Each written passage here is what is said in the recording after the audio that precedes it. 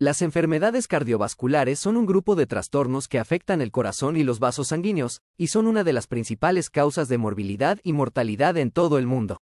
En este video, exploraremos qué son las enfermedades cardiovasculares, sus causas, síntomas, diagnóstico, tratamiento y cómo prevenirlas.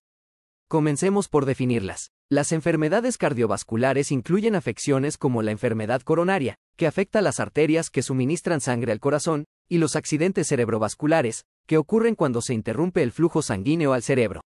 Otros trastornos incluyen la hipertensión, la insuficiencia cardíaca y las arritmias.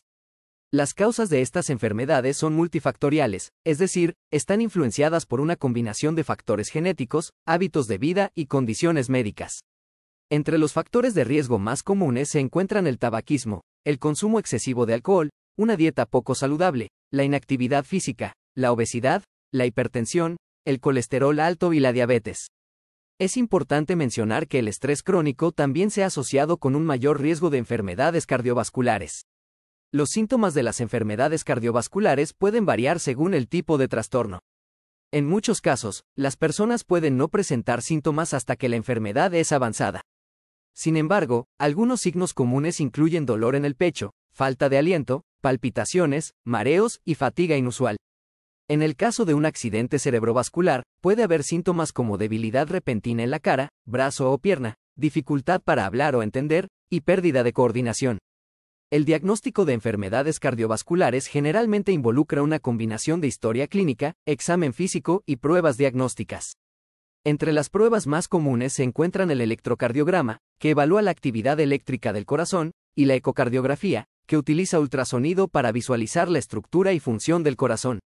También se pueden realizar pruebas de esfuerzo y estudios de imagen como la tomografía computarizada o la resonancia magnética para obtener más información sobre el estado de las arterias y el músculo cardíaco.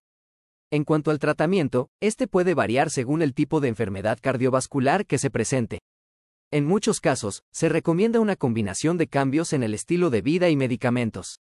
Cambios en el estilo de vida incluyen la adopción de una dieta saludable, rica en frutas, verduras, granos enteros y proteínas magras, la práctica regular de actividad física y la reducción del consumo de alcohol y tabaco.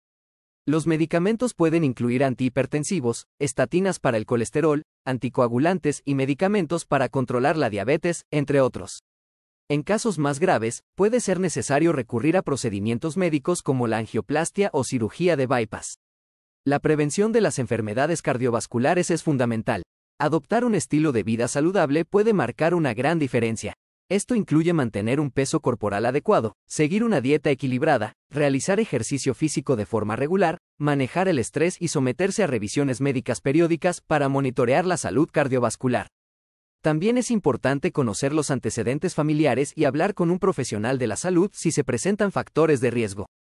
En resumen, las enfermedades cardiovasculares son una problemática de salud pública que necesita atención y prevención.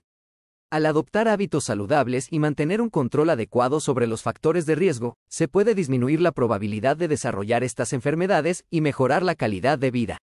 Gracias por acompañarnos en este video. Si te ha gustado, no olvides darle like y suscribirte para más contenido educativo sobre salud.